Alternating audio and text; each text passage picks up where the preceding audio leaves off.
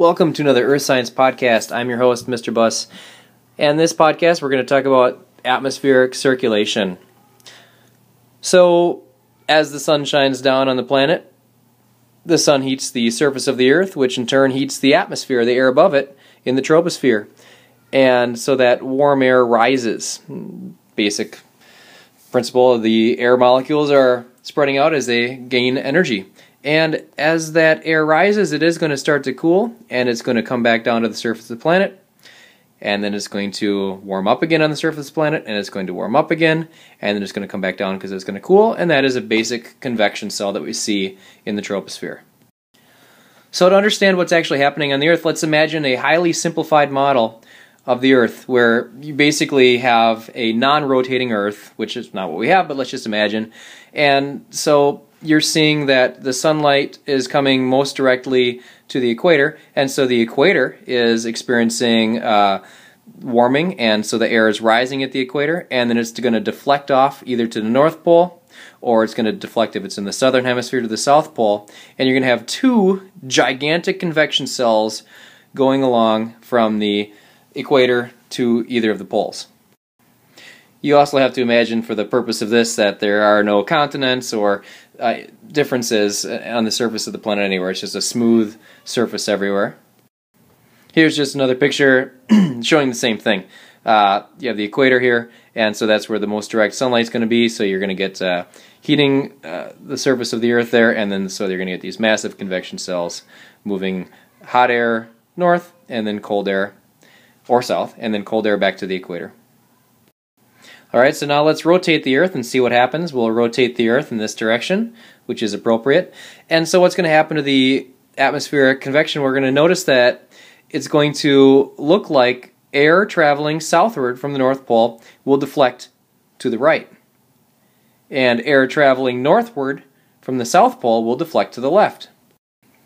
This might be easiest to understand if you think about it um, from the point of view of an airplane flying from the North Pole uh, south to a city near the equator. So imagine an Earth that rotates, which it does, and imagine the airplane leaves and flies directly south. Well, instead of landing, if it flies directly south, instead of landing at a, at a point on the equator directly south of it, it's actually flying south, but as it's flying south, the Earth is rotating, so it's going to deflect um, to a city that is actually to the west of, of where it had intended, unless it actually, as it flies, as the airplane flies, unless it actually angles the plane so that it it can it can actually steer it and to try to fly where it's supposed to get to um, as the Earth rotates away from it. All right, and so as if that wasn't complicated enough, it gets one step more complicated. Interestingly enough, we don't see one gigantic convection cell in the north and one gigantic convection cell in the south we actually see three identical convection cells in the north and south. So we have a Hadley cell. So air that rises at the equator is going to deflect off to the north in the northern hemisphere and to the south in the southern hemisphere. And it's only going to make it as far as 30 degrees north or south. And that air, which rose as warm, humid air and then precipitated out, is going to fall as dry, warm air. And so that's where the, a lot of the Earth's deserts are at those 30 degree north and south latitudes um, because the warm air is also dry. And then the air is going to return to the equator, warm, and then go through the Hadley cell convection. The Ferrel cell is between 30 and 60 degrees north and south. And the polar cell is at either the North Pole and the South Pole.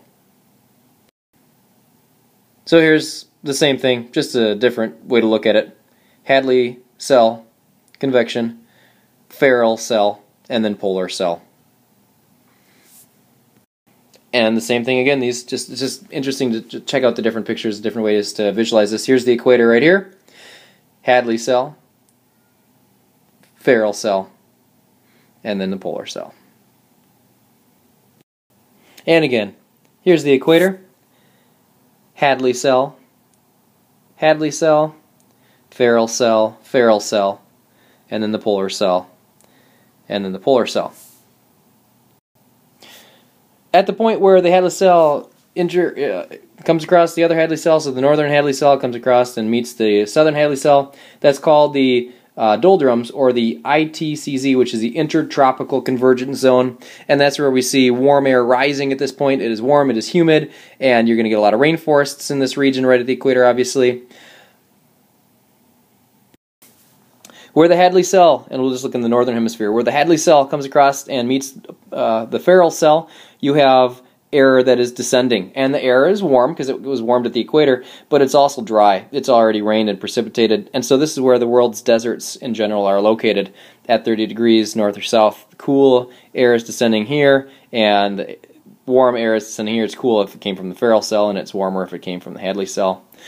And where the Ferrel cell meets the polar cell, that you get a jet stream there. Um, jet stream flows west to east. We'll talk briefly about uh, high pressure belts. High pressure is when you get descending air. So you get descending air here as the air is coming down and crashing down on the earth. That is high pressure. Um, low pressure is caused by air that's rising. The air is leaving the earth here, so that the pressure is low.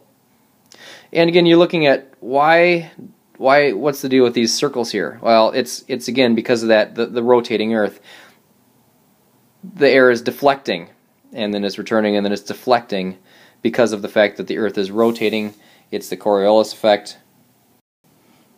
Now, hopefully that video on the last slide worked for you. I'm still learning how to do all this stuff. Uh, so um, feel free to pause this slide if you need to write this down. But um, Hadley to Hadley cell, again, I've already said this, but um, that's at the equator, right? And that's called the doldrums.